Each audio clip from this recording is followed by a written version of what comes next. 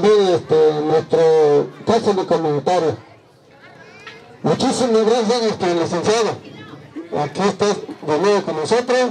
y Me da mucho gusto. Me alegro con usted porque usted su promesa la cumple. Muchísimas gracias. Muchísimas gracias. Javier Castañeda, muchas gracias. Le doy gracias porque usted me ha brindado apoyo a nuestra gente indígena y quiero que se gane, échenme la mano. La mujer que está aquí con ustedes, que lo está viendo, son pura mujer, que no sabe leer, que no fue a la escuela, no sabe defender, va a la línea a vender su, su cosita de...